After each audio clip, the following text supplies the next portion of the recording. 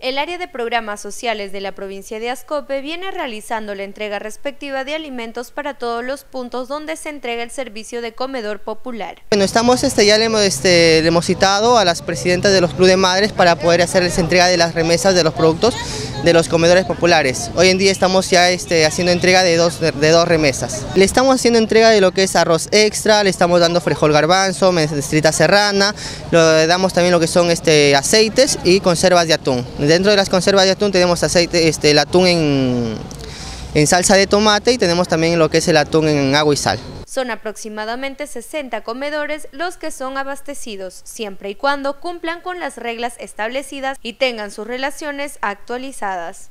A nivel de provincia nosotros contamos este, con 60 comedores, dentro de los cuales este, hemos hecho ya desde inicio de año un trabajo de campo, hemos tratado de concientizar con ellos de que puedan aperturar este, locales que estén en buenas condiciones, que tengan un buen almacén, que tengan sus resoluciones activas, ¿no? porque muchos comedores han estado trabajando con resoluciones desde el 2017.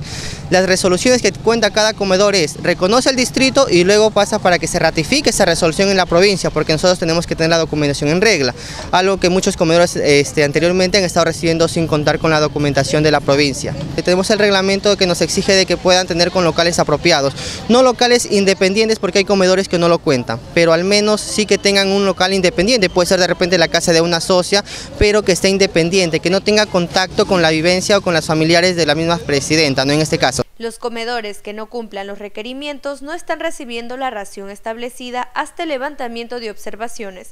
Así lo indica Liliana Escobar, regidora provincial de Ascope. Esos comedores ahora no están recibiendo el alimento hasta levantar las observaciones, ¿no? Entonces ahora se está repartiendo solamente a todos que cumplan con las normas establecidas por el MIDIS. Ahorita lo estamos haciendo, le estamos dejando una remesa de dos meses para evaluar. Estamos evaluando porque hay muchas críticas siempre que los productos se les da de seis meses, lo venden, lo regalan. Entonces, para evitar esos comentarios y, y poder fiscalizar mejor, estamos repartiendo solamente de dos meses.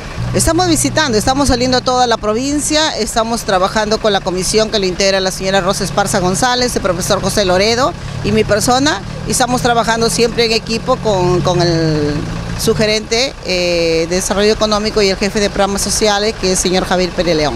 Actualmente el control del buen uso de estos productos se ha vuelto más exigente, ya que por la experiencia han logrado identificar que muchas veces los que más lo necesitan no llegan a beneficiarse de dicho programa. Desde el mes de enero se han hecho los trámites, las coordinaciones respectivas.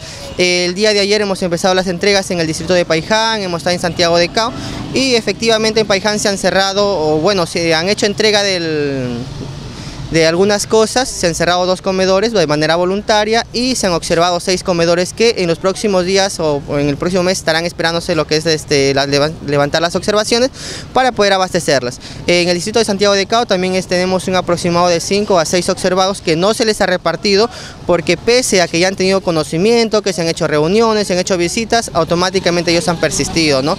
Realmente lo que nosotros queremos garantizar es que el producto llegue a las personas que realmente lo están necesitando y no se interprete de repente porque llegan a sus casas, después están vendiendo, después este, de repente lo están usando o está sirviendo solamente para beneficio de muchas familias que no salen realmente a las otras personas que están necesitando. Este trabajo de fiscalización consta de dos periodos, los cuales no siempre son bien vistos por las presidentas de los comedores. Al margen de ello, este, nosotros eh, estamos diciéndoles a todas las presidentas que va a haber una fiscalización. Lamentablemente a muchas no les gusta el tema del trabajo, la fiscalización y algunos se están adecuando. Si realmente nos levantan las observaciones que se están haciendo en este caso en dos fases. Uno, estamos iniciando con el tema de los locales, sus documentaciones en regla, que cuenten sus socias, sus directivas. El segundo, vamos a ver realmente hacia quién está dirigido, porque muchos comedores funcionan solamente con el entorno familiar. Entonces se va a hacer lo que es un filtro, se va a tratar de buscar este, que las personas que estén recibiendo sean las socias, que no se esté vendiendo de repente a terceras personas, ¿no? Porque eso es lo que solo nos exige el MIDES. Todo ese trabajo lo vamos a hacer de manera posterior y como siempre para poder garantizar realmente el funcionamiento de lo que es realmente los comedores. La apertura de un nuevo comedor popular dependerá únicamente del cierre de otro. Sin embargo, tres distritos estarán aperturando un nuevo comedor para adultos en riesgo. Nosotros contamos con, este, en la municipalidad, en la oficina de programas sociales, eh, nosotros contamos ya con 60 comedores y la inscripción en sí nosotros tenemos un, como se puede decir, un presupuesto ya para 60 comedores, dentro de los cuales este, si desearían inscribirse de repente para que se pueda aperturar, no, y con el tiempo se estaría de repente suspendiendo o cerrando algún comedor, se podría aperturar, ¿no? Lo que nosotros estamos, eh, como ya lo dije, es garantizar el funcionamiento de los comedores. Comedores de repente que ya se han suspendido, nosotros también ya la semana, esta semana que ha pasado, el día martes, se aprobó en sesión de consejo la apertura de una modalidad de adultos en riesgo. Esta modalidad nos permite de que las personas adultas en riesgo este, puedan recibir una canasta o de repente un pequeño víver o incluirlos dentro de un comedor popular haciendo ya un análisis, conversando con las representantes, porque solamente existen tres distritos que han tenido el interés de hacer este trámite desde el año pasado y la voluntad de esta gestión de querer aperturarlo. ¿no? Eh, ya vamos a empezar de repente ya la próxima semana a hacer las coordinaciones y en la siguiente semana de repente hacer entrega. Tenemos el distrito de Cartavio, el distrito de, perdón, de Santiago de Cao, el distrito de Rasur y el distrito de Chocope, que son las personas con discapacidad que estarían recibiendo estos productos. ¿no? Que si bien es cierto, la proporción va a ser la misma de las raciones que se reciben en un comedor popular.